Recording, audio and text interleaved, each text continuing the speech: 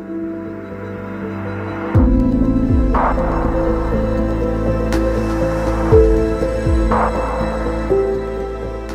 Trying to achieve this edit right here with the raw original image he has sent me. So this one's been sent in by the Freedom Complex. Go give him a follow on Instagram, guys. His links will be down in the description. So in terms of the style, we're trying to achieve a pretty decent amount of fade. Not too much change to the colors, pretty natural colors there, but we're trying to really concentrate on the contrast, no grain, and then doing some work with the filters, trying to adjust the lighting and things like that. So also guys, click the link, go over to his website. You can sign up to his email list if you're interested in presets like his. They're coming out soon. So if you sign up, you'll definitely be notified when they are out. So guys, you haven't seen a lot of content from me because I've been working really hard on my course the last few months. So long story short, I'm trying to create the resource I wish I had. So the idea is to give you guys the knowledge and skills that I have and give them to you much faster than if you were browsing on YouTube or learning from trial and error. I teach why you get the results you get when you move sliders, why to do that that in the curves, why that result happens, why put that color with this color, where you should put your colors to get the style you want.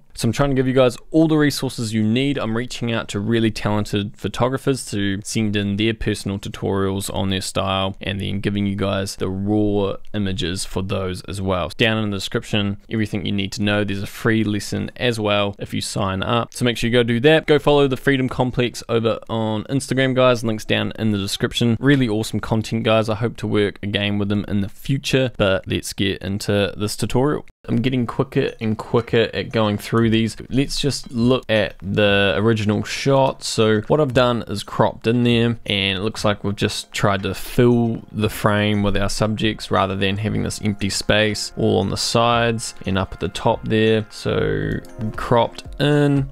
Let's go back to our reference here. So this is the exact one off Instagram. Something still wasn't the same over in his image. So what I needed to do is come down here and bring up the distortion manually. So you got profile over here and distortion here. And if we just bring up distortion, what it does is stretches the middle of the image and it makes your image look a bit more grander as if you took it on a wider lens. So about 28 is good. And then you can see we just get the uh, tusk of the elephant in the shot. And then over here, we're pretty much the same there. Now, one more thing is coming down to transform here. So when I was looking looking, comparing these two images, trying to crop them in the same way, I started to notice the elephants look a little bigger in his one. Like, why do they pop from the image a bit more than our one over here? And it's because we need to change the vertical. So we're tilting the image up and it kind of makes those elephants seem a bit taller, sort of stand over the pool a bit more. Otherwise, um, they don't quite pop from the image as much. So we're just going to tilt it 13 and now slightly tilted like that. And they sort of pop out of the image a little more. Okay, so we're sussed for the cropping now.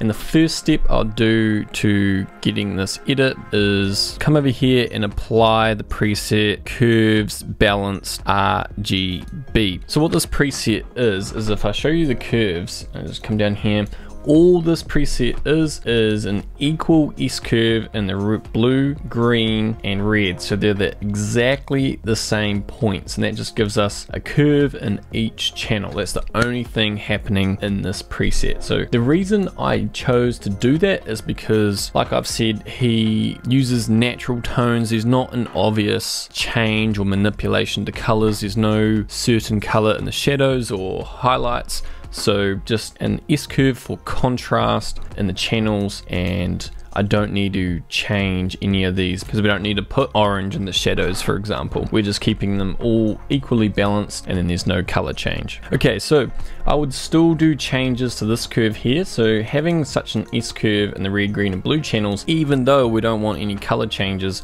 frees us up to do whatever we like in this curve and do a much more gradual S curve. So we want to fade to those blacks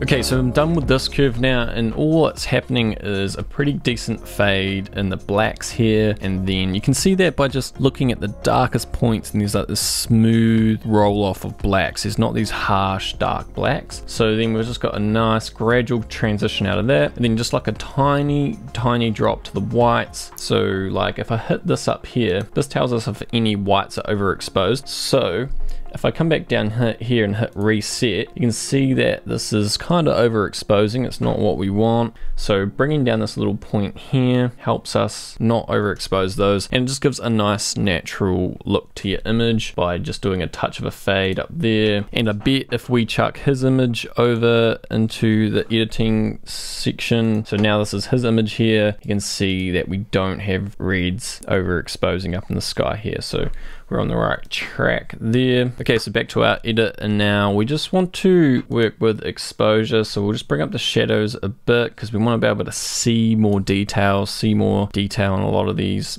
elephants and stuff but then we also want some shadow. So like we want a bit of shadow. I think what i'm to do i'm to plan on doing filters down here to help our subject pop a bit more. So i'm just to up the shadows now so i can see the whole image a bit better and then it just feels more vibrant. Because some people might think i have to bring the shadows down because there's all these shadows down here but we'll do those with filters. So i'm to bring up the shadows so we get a nice vibrant feel to the image, blacks as well. We want to be able to see more of that elephant's leg, bringing up the blacks. I think that looks a lot better. And then we're going to bring down the highlights. So one of the key things is like, you don't want to lose detail in your image. So like if we zoom in on these trees here, watch what happens if I drop the highlights. You can see the edges of them and that just gives a really pleasing effect to your edit sometimes like really increases like the appearance of dynamic range so I'm going to drop that because I think that's what's happening in his image as well. And it just brings back a lot of detail like dropping the highlights gets rid of a lot of glare and really brings back detail. So I see this all the time. I always see people dropping the highlights. And now with the whites so I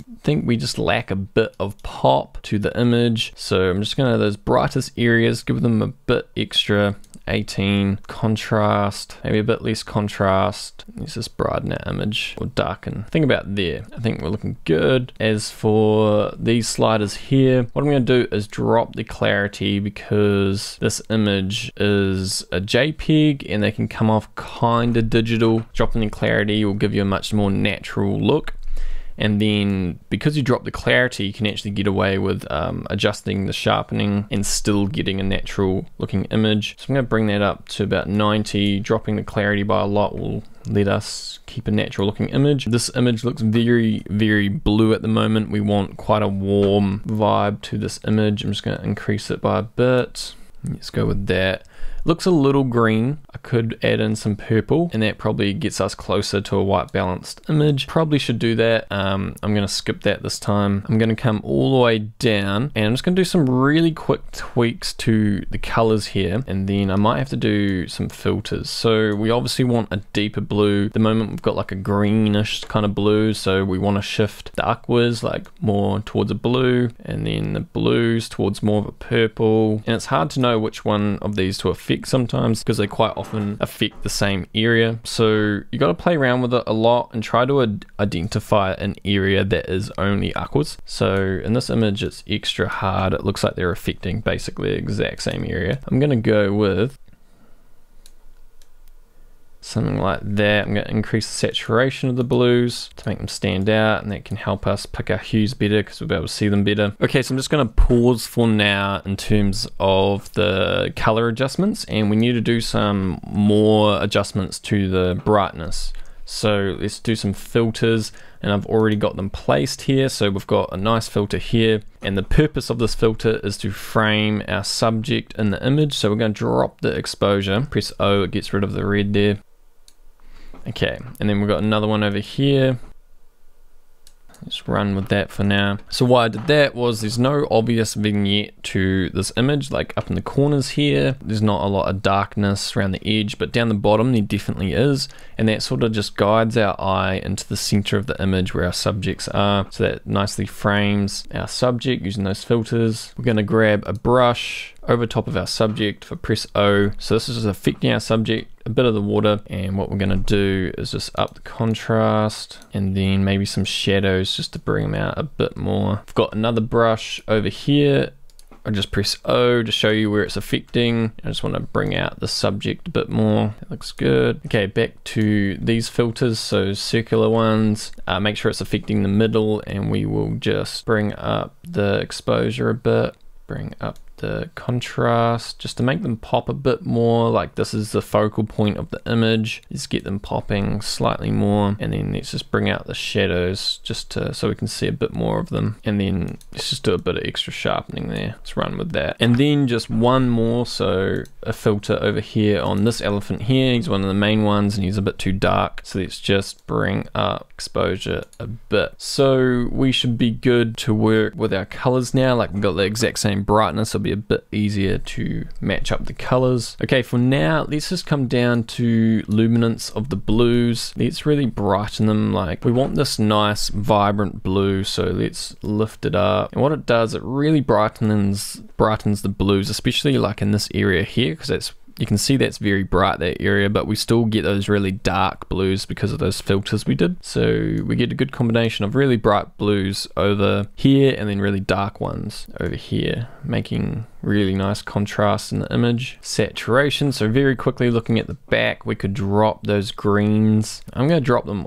all the way. You can see there's a lot of green still in the image and that's because a lot of greens sit within the yellows but we don't look too bad there. So up here like you can see we've got a lot of greens back there and like I said just said there's a lot of greens sitting in the yellows so let's warm them up a bit and we get slightly warmer yellows and greens and then even though the saturation's negative 100, we still have quite a few greens in the image. I'm just gonna warm them up quite a bit. Okay, so oranges and reds, so this is like our skin tone, pretty important. Let's warm up our skin tone. Let's definitely drop the saturation. So our reds look really red. So I'm gonna go towards an orange with the reds saturation i'm going to bring down the reds a lot so like there's a lot of reds sitting in like the neck area let's drop that and then luminance. So we want nice rich tones a lot of the time especially for skin tones. Let's drop that for the oranges those reds.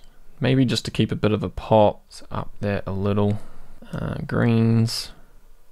I drop the greens a touch. Bring up saturation of the oranges just a little bit. Okay, so I'm about happy with that. So there's just a few other things um, I forgot to show you. We've got some little healing masks on some leaves here in the water. So what you do is just drop them on the on the water there. Get rid of those leaves. And then there is some things to this image. So once you're happy with the edit, completely finished, we need to do a little bit of Photoshop. So an easy way to get into Photoshop, I used to say go up to help, but there's much faster way is you right click on the image, you go to edit in Adobe Photoshop. Edit a copy and Lightroom adjustments. Okay, so in Photoshop now, and what we want to do is get our clone brush. We want to zoom in to about 80%. So in now, and what we want to do is just extend the pull here. So clone stamp tool, we are going to make it a bit bigger by doing the bracket key and then what we'll do is press option sample this area option come across click it and then click it a few times and then it's more opacity if you click it a few times. Uh, do another option select this area bring it across down there. And I'll just do this really quickly I'll sample this bit of the elephant here because I want this edge of the pool and I'll come over here and put it on this one so it doesn't get all blurry edges.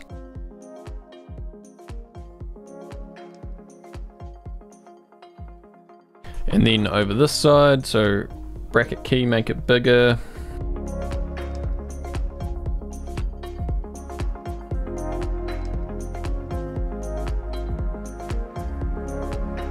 Okay, zooming out, I just did that really quickly guys, it could take your time and just make sure there's no blurry edges and stuff like that, but that's just doing it really quickly. Once you're done, I go to file and I just hit save. As soon as you come back into Lightroom, it has already made another image for you with your adjustments, but you've lost all your settings. So make sure you know your settings before you do that. And one other thing he has done is if I open this up, he has centered himself. So he's like moved the entire pool a little to the right to center himself. So if I just go back to our one, so we're on his one currently. This is our one. You can see how he's slightly out to the left now. He's moved it all over to the right. We won't worry about that. It'll just take too long. So just one thing I forgot to do is if I just get the filter back up, I just think our elephants and stuff, they look a little too blue over in ours. Our image almost overall looks a little too cold, but I'm just gonna put it right in the middle. I'm just gonna up the warmth a bit because these, this is our focal point and I just want it a bit warmer. So yeah, elephants don't look so blue and the image pops a bit more giving off warm vibes. You can sort of see it in the highlights down there. I feel like they look a little warmer and brighter. Okay, so if I just hit reset, there's our before and here's our after. And obviously we still don't have those Photoshop adjustments. But that's it guys, catch you in the next one.